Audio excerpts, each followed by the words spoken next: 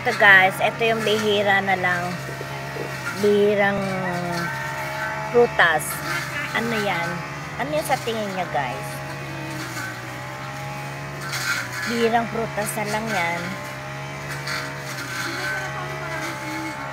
Ayan ang, yan ang puno niya. Ano yan?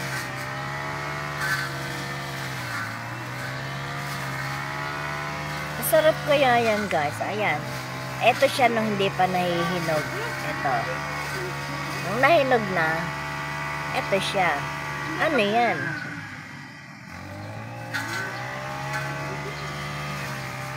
Tamis-tamis yan guys.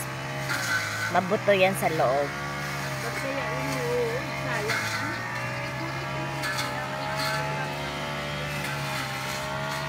Ito yung puno.